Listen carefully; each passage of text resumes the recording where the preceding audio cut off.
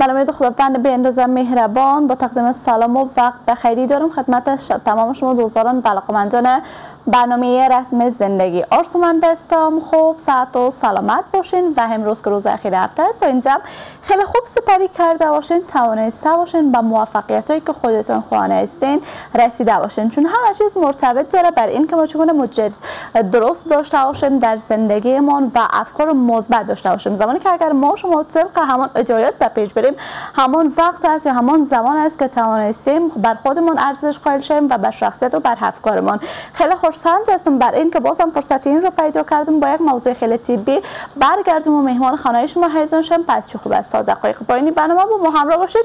چون ما با شما همراه هستیم. پل های ارتباطی برنامه در اختیارتان است 488 کلید 47 صفحه فیسبوک برنامه و نظر به موضوع برنامه می توانید به شماره تماس 020 و 120 10 به تماس شوید پیش از اینکه تماس بگیرین.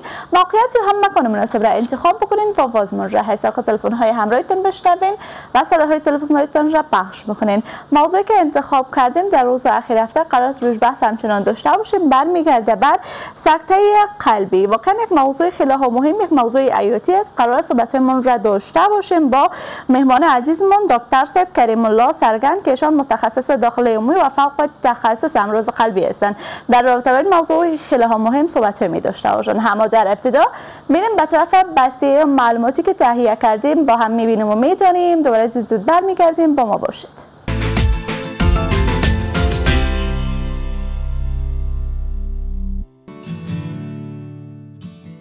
سکته قلبی. حمله قلبی عبارت از انهدام و مرگ سلولی دائم و غیر قابل برگشت در بخشی از عضله قلب یعنی میوکارد است که به علت از بین رفتن جریان خون و وقوع یک اسکیمی شدید در آن قسمت از قلب روی می دهد. این توقف گردش خون ممکن است ناگهانی و بدون هیچ علایم قبلی نمایان گردد یا پس از چند حمله آنژینی یعنی درد قفسه سینه نمود یابد. عمده ترین دلیل سکته بسته شدن رگهای تغذیه کننده قلب است. برای رفع انصداد غیر از دوا از بالون و جراحی قلب باز یعنی تعویز رگ مسدود شده استفاده می شود. سکته قلبی نوع آرزه فراگیر است که هر ساله باعث درگذشتن هزاران تن می گردد.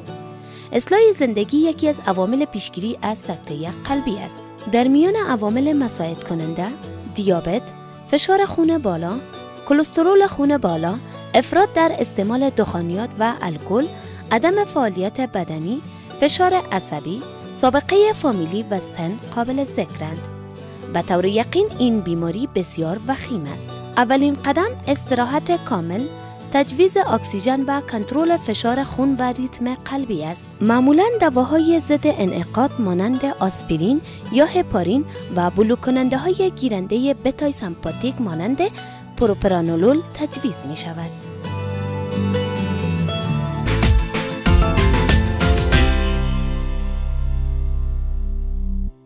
بسته معلوماتی بود که ارتباط مستقیم داشت با موضوع امروزی رسم زندگی. دیدیم و دونستیم بازم جا دارد. یک دوره خیلی کوتاهی داشته باشم هست. شما تماس برنامه 020 120 10 دیده برای تماس های شما دوستان هستیم هم فعلا صحبتمون رو آغاز می‌کنیم با جناب دکتر صاحب. سلام دکتر صاحب. خیلی خوش آمدین. وقتتون بخیر. سلام بر شما سلام به تمام همکارای عزیز شما سلام به تمام مردم افغانستان. تشکر زنده سلامت باشین. ممنونتون دکتر صاحب. بابت اینکه دعوتمون رو پذیرفتون حضور پیدا کردین در برنامه رسم زندگی.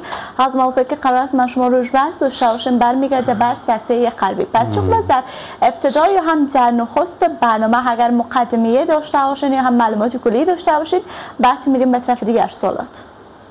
خوب سکته قلبی کم بیش مردم با نامش آشنایی داره بله. متاسفانه یا یکی از اعضای فامیلش یا یکی از دوستانش طبیعی سیر گذاشتنده و یا هم خبری از او شنیده. و گاهی وقت هم خبرهای ناگهانی از دست دادن دوستا در گوش بس کسا تا بال شاید باشه و شنیده باشد و خبرهای ناخوشنده باشه از این خاطر با سکته قلبی کم مردم آشنایی داره در اصل سکته قلبی اون بندش شریانی هست که خون به یک قسمتی از قلب میرسانه قلب وظیفه ایشی است که به ما شما خون برسانه به عضویت ما شما تامین کنه مواد غذایی که هر حجره ما هر نسج ما ضرورت است. تأمینی از او توسط جریان خونی که صورت می‌گیره قلب یک نقش نهایت مهم و اهم در مورد داره خود قلب هم به مواد مغذی ضرورت داره. و این مواد مغذی به خود قلب توسط شریان ها یا ساده بگوییم توسط رگ ها صورت می‌گیره. گاهی وقت متاسفانه ناگهان می رگ ها بند میشه و با یک قسمتی از قلب مواد غذایی نمی‌رسه. وقتی که مواد غذایی در امون ناحیه نرسید متاسفانه اون ناحیه از بین میره و فوت می‌کنه. وقتی قسمت فوت می‌کنه مشکل کلان دیگه ای که در جریان سیستم قلبی وایی است است که قلب یک سیستم برقی داره. مثل که برقی که میال ما شما را می‌بینه مشابه به یک سیستم بسیار غنی برقی داره. اینمی حالت ناخوشایندی که ایجاد می شود باعث بینظمی های برقی در سیستم قلبی می گردد که بینظمی های قلبی متاسفانه گاهی وقت از دقایق بیشتر کسی تحملش هم نداره و زندگی را خاتمه میته متاسفانه. بله دقیقا. این خب قسمی که جناب دکتر سب اشاره کردن همه ما شما با نامه و همچنان با سکته قلبی آشنایی هامتان داریم. ولی حالا بیشتر و بیشتر تونستیم که حالا سکته قلبی یعنی چی؟ خب دکتر سب هلال و حامل درسیست یا هم چی فاکتورهای مساعد کننده وجود داره تا یک فرد مثلا به چنین مشکل میشه؟ اصلا بحث مهمی نمیست چون وقتی که یک سکته قلبی را تجربه می‌کنه و یا ای که تجربه کرده باشه از فامیلشون یا از دست دادن و یا زنده هستن و بحث بخید بحث جداست که سر از اون ما شما بحث خود کردیم. مهمترین مسئله ای است که چطور یک شخص مساعد میشه به سکته قلبی. بله. واقعا این سکته کدام پیش آمده پیش از او کدام زمینه سازی موجود هست یا نیست که یک شخص کاملا سالم است جور تیار است و یک دم سکته قلبی میشه. آیا واقعا چنین چیزی است نه خیر چنین چیزی نیست. کسانی که فشار بلند دارن کسانی که شکر دارن کسانی که وزنشان زیاد است کسانی که سیگرت استفاده می‌کنن بیش کسانی که فعالیت فیزیکی کمتر دارن کسانی که استرس بیشتر دارن. اینها زمینه مساعد است. کسانی که سنشان زیاد است جنس مرد زیادتر نسبت به خانم ها نسبت به ریسرچی که است صورت گرفته اینها پیش زمینه به خاطر بند شدن رک هاست در جریان رگ ها اگر ما رو شباهت بتیم به یک نل. این نل به مرور زمان یک منگ می‌گیره. ما شما منگ میگه فکر می‌کنم نه؟ بله. اینمی نل یا امیر رگ در داخل خود یک منگ منگک می‌گیره. اینمی ما یک پروسه که اصطلاح تیبیشان با اسکلروزیس است این یک حادثه اوج ایجاد میشه. متاسفانه یکی از این پارچه ها پارچه میشه از این منگ ها که ناگهان کاملا امور رگ باز بسته میشه. تحت یک شرایط عضویت که یک پروسه تحصوری خون است این کاملا این حالت صورت می‌گیره. یعنی مطلب گپ می است. خب دکتر صاحب یعنی برمیگرده بر بعضی از وطنانمون میگن که نلکه های قلبشون بند شده. باز بیشتر هست شما بشیم در این یا هم کدوم فرق وجود داره. خب مردم دو نوع اصطلاح دارن. در که به ما مراجعه می‌کنه بعض کسا که میگن نلکه های بند است هدفش از وال هایش می‌باشه. قلب وال هم داره. وال به معنای دروازه. بله. مثل دریچه یا دروازه. کسی که باز میگن نلکه های بند است هدفش نمی نلای همی رگ ها می‌باشه که رگ هایش بند شدن. متاسفانه باز به مرور زمان موجود می باشد چون در افغانستان یک چیزی که موجود نیست که امیدوار هستم بعد از کسا توجه کنه و زیادتر هم به بحث اقتصادی رو نمیارد. مردم زیاد فکر می‌کنن که از خاطر مشکلات اقتصادی خود بود. ما هم چنین چیز نیست متاسفانه فرهنگش نیست. او چک کپ است که پیش از یک حالت خراب یک نفر خود چک کنه. دوانستان نیست کسانی که سنش بالا هستن یعنی کسایی که رس فاکتور داره که من یادوری کردم اینا ضروری هستن. اگر می‌خواین از عملی قلبی حداقل تا حد وس بندگی در عالم الاسباب خود نگهداری کنه و باید خود پیش از حمله چک کنه. چون حمله که بیام این دو حالت داره حمله که آمد. در شرایط افغانستان تا حدس و گمان و کاری که ما کردیم از هر سه نفر یک نفر خود زندگی خود از دست میتده حمله. در شرایط افغانستان بحث است. یعنی اگر سه نفر حمله قلبی را سپری می‌کنه بسیار یک نفر زندگی خود از من از دست میته اگر دو نفر نجات پیدا می‌کنه. از این دو نفر یک نفرش باز پسانا به عدم کفای قلبی حتما دچار میشه که قلبش ضعیف میشه به تمام عمر. یک نفر نسبی سالم میمونه از این خاطر باید جلوگیری شوی. بحث بحث خیلی مهم است. کما که برش متاسفانه ریشه یابی نشده که بحثم شاید زیاد نشده باشد. و تعداد واقعیت حملات قلبی خیلی زیاد است. شما اگر در یک شفخانه کار کنین و شب بوجه نوکری بتین اگر سه نفر فوت می‌کنه در این سه نفر دو نفر یا یک نفرش یا اگر چهار نفر بگیریم دو نفر حتمیش از باعث حمله قلبی فوت می‌کنه. یعنی مرگ میری که خب متاسفانه در افغانستان تو research و data ی موجود نیست. اگر ما یک data از یک ملک دیگر صرف به شکل نمونه به خاطر از هان میگم که در ذهن مردم جای به جای شود شما فکر کنین در ایالات متحده امریکا 13 میلیون نفر این حمله را سالانه میگذرانه ارقامش خیلی بلند است. این ارقامی است که 13 میلیون ببخشید 13 میلیون مردم مصاب به این حمله که 6 میلیون از این حمله مای گذاشتند و 7 میلیونش مانجن داره. یعنی 13 میلیون نفوس اینمی یعنی مشکل داره. به یک سال نیست یعنی میره دارن. فعلا اونجا که زندگی می‌کنه یعنی یک یک اکثریتی است که در اوجه هست نسبت به دیگه مرد. و یکی از دلایل عمده مرگ میر در تمام دنیاست. اگر شما مرده بندی کنین علت های مرگ پیش اشخاص یکی از دلایل عمده سکته قلبی بله دقیقا. خب دکتر صاحب اگر موافق باشین صحبت ما را ادامه میدیم اما فعلا وقت خیلی کوتاه دوباره برمیگردیم.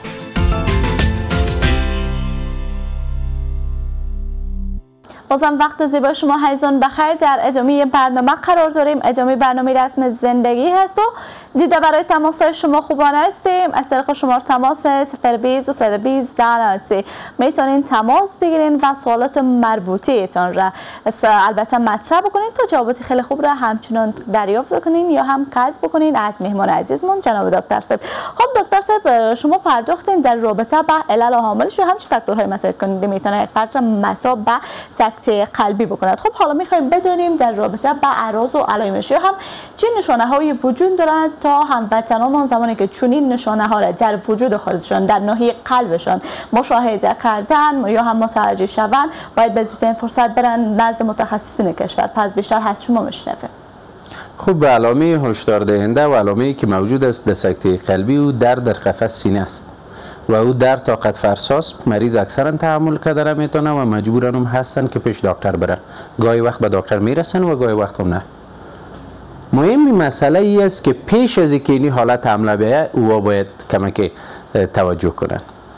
یعنی تمام مریضایی که شکر دارن تمام مریضایی که فشار بلند دارن سموکر هستن سن 45 بالا هستن یا بخواین نخواین سالانه یک مرتبه دو سال یک مرتبه سه سال یک مرتبه از نظر قلبی باید خود چک کنن.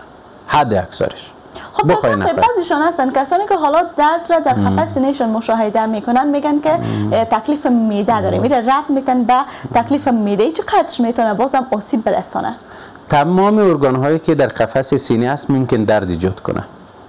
مثلا تکالیف میده تکالیف تنفسی دردهای عصبی دردهای عضلی دردهای خود اسکلت دردهای خود قفس سینه و دردهای قلبی. مگر کلش کشنده نیست؟ از این خاطر به ما اهمیت نمود دردی داره که مریض دیگه باز متاسفانه ما مریض از دست نتیم.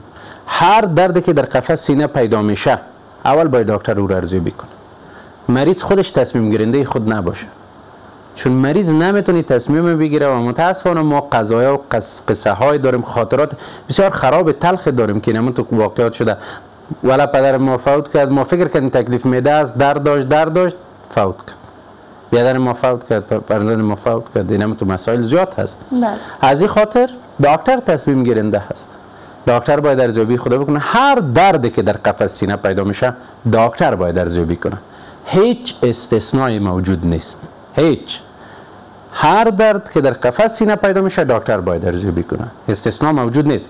چون کل دردا وصفی نیست. مثلا پیش مریض شکر فشار بلند سن بلند این درد بشه یک وصف دیگه میشه. ممکن یک مریض شکر از ضعف حکایت کنه و عملی قلبی باشه. ممکن یک کسی که فشار بلند داره از ناتوانی یک حکایت داشته باشه. یا از دردهای که زیاد وصفی به درد قفس قلبی نیست از او حکایت کنه. دکتر تصمیم گیرنده است. از خاطر از که پهلوی از که شکایت داره ارزیابی که دکتر می‌کنه تاریخچه‌ای که دکتر می‌گیره جمع معاینات متممه. بعدش به تشخیص می‌رسه تو بسیار سخت است که یک مریض در تلفن بگه یا از خانه زنگ والا قفس سینه ما درد می‌کنه تکلیف قلبی است یعنی ما بگیم نه برو نیست. خبر میشه صبح نیست. بله. این بسیار سخت است. خوی به این معنا نیست که مردم به اندازه تشویش حال پیدا کنه صحبت های ما که حال هر در پیدا فکر کنه قلبی است. 5 فیصد شاید قلبی باشه ما 5 فیصد کشنده است به ما 5 فیصد معلوم نیست. از این خاطر کل باید ارزیابی کنه. خب دکتر صاحب چون موضوع موضوع خیلی ها وسیع و مهم همچنان است تماس هم خیلی زیاد ببینیم کدام هموطنمون هست؟ کجا تماس گرفتن؟ بله سلام وقتتان بخیر. خوب هستین؟ ساعت سراب سلام خوب هستین؟ سر خوب. سهر هستم. شهر نو تماس شدیم خیلی خوش آمدی خواهر عزیز بفرمایید سوالتان رو بپرسین. سوال از دکتر صاحب دارم. بفرمایید بفرمایید. بفرمایید. ما فقط یک مدت یک ماه میشم یک قلبم به تکان شده تکان زیاد شده. خصوصا از طرف تراش تکان قلبم زیاد میشه. باز وقتی که استراحت می‌کنم. امی دست چپم امرای یک طرف اعضای بدنم یک قسم بهشت میشه. یک قسم فکر می‌کنی ها بوده چی؟ قسم باز وقتی که پس بیدار میشه می‌خواستم از استراحت که بیدار میشه می قلبم زیاد تکان داره. هیچ اتصاف کردن نمی‌تونم. فکر می‌کنم که یعنی یک پرسش دارین دکتر صاحب؟ صرف چند سال است من هم قسم دارم چند سال است اینو باشین؟ چند سال است اینو باشین؟ ما بی ساله سعیز خوار گلیم ما براتون معلومات بخیر خدا نگهدارتون بینید برنامه باشین جواب سوالتون را دریافت می‌کنین فرمایید دکتر خب کسایی که احساس تکان قلبی دارن خوشبختانه اکثریتش تکالیف جدی قلبی نیست مثلا یک خانمی که کم خون باشه ممکن تکان قلبی داشته باشه کسی که استرس داره ممکن تکان قلبی داشته باشه کسی که تکالیف تایروید داره ممکن تکان قلبی داشته باشه. ولی این به این معنا نیست که باید ارزیابی نشه. هر حالت صحی که بر یک شخص ناراحت کننده باشه از حالت نرمال یک شخص برای ولو چی روحی باشه چی فیزیکی باشه. او باید پیش دکتر مراجعه کنه و ارزیابی خدا بکنه. و زندگی یک سرمایه بسیار کلان است که باید مردم برش توجه کنه که متاسفانه کمتر است توجه. امی بیخی تکلیف آدم باشه باید یا مراجعه کنم. 20 روز میشه قلب یک شخص تکار می‌کنه به این معنی شما یک موتر داره. 20 روز خراب باشه و هر روزی رو بچلانه. هر روز دو چکر میریم هر روز دو پیاده میریم به بیرون به دفتر میبرینش خراب است. هیچ امکان نداره به موتر دلت میسوزه. وقتی که وجود خودت 20 روز میشه در شهر نو هستی رو روی یک کلینیک شفاخانه مراجعه و یک ارزیابی ابتدایی بکن. خب دکتر صاحب بعضی از افراد هستن که از ادویجات خود سرانه هم استفاده می‌کنن. و دفعتا شکایت می داشته باشند از ناحیه قلبشان و می‌گویند که دفعتا ضربان قلب ما از حالت نرمال خارج شد. خب این می‌تونه گذار باشد استفاده ادویجات به گونه خود سرانه استفاده ادویجات به خودسرانه کار نهایت غلط اشتباه و مطلقا به اساس است.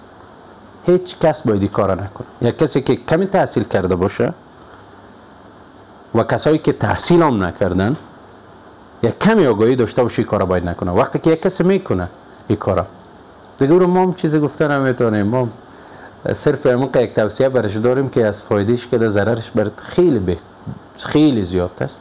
شاید صد نفر استفاده کنه یک نفر از بین ببرم. مگه اون نفر کیست؟ این شاید ما باشم که خود سر استفاده می‌کنم یا کسی دیگه کس او رو ما نمی‌فهمیم. خودش هم نمی‌فهمم. از این خاطر خود سر استفاده نکن. ببینین یک دکتر 7 سال تحصیل می‌کنه سه سال تخصص می‌گیره باز دو سه سال تخصص باز یک ده سال تجربه کری وقتی که دوا میته شما یقین کنین اونها اینقدر زیر فشار می باشه که دوای تو مشکل پیدا نکنه تو پیدا نکنه تو پیدا نکنه. واد جنجال است.